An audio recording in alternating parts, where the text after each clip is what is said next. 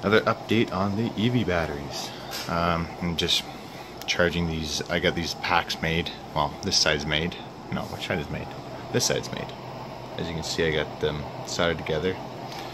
And there was one pack that was at 3.3 uh, volts, and the rest I had charged at 4.5 volts.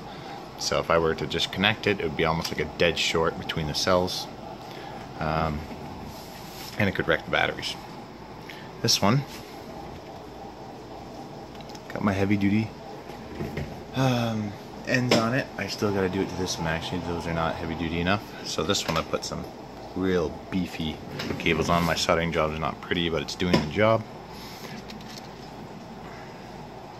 And that's that. Two runs of this. I believe this is 12 gauge. Something like that.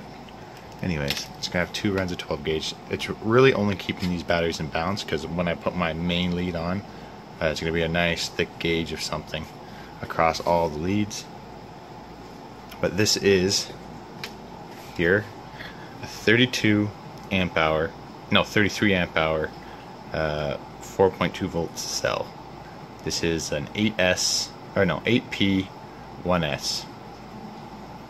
It's got eight cells in here. So,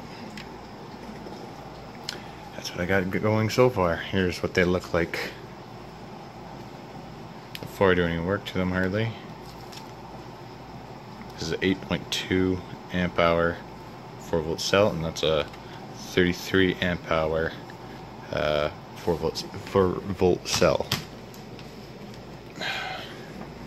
And yeah, just giving you guys a few updates as I build this pack.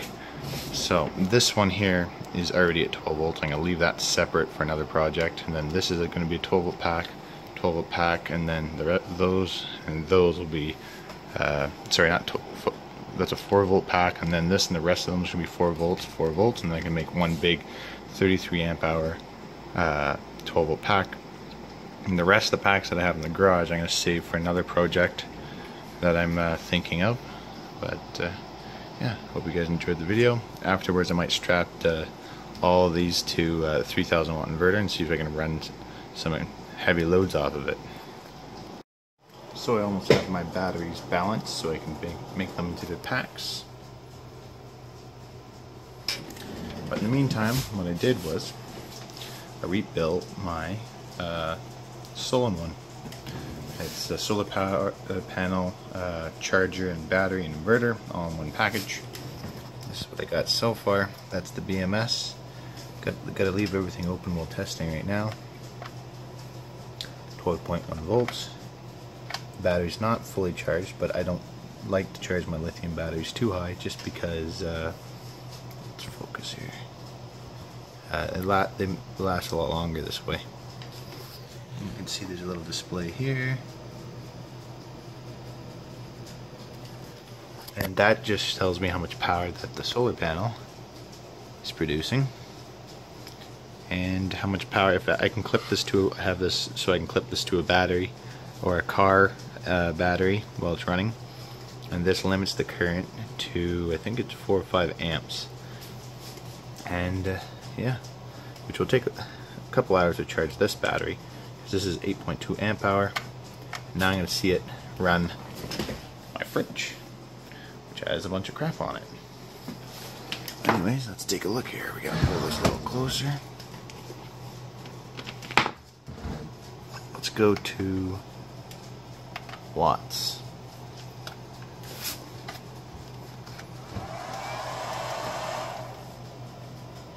Took over 500 watts there for a second.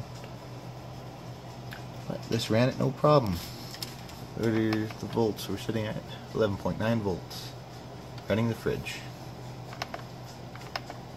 It says 55 watts, but that's only like 50% power factor, so it's really taking about 100 watts, so it's about 10 amps out of the battery, but it's not 10 amps continuous. So this would trickle charge about an amp into the batteries, amp and a half when it's sunny.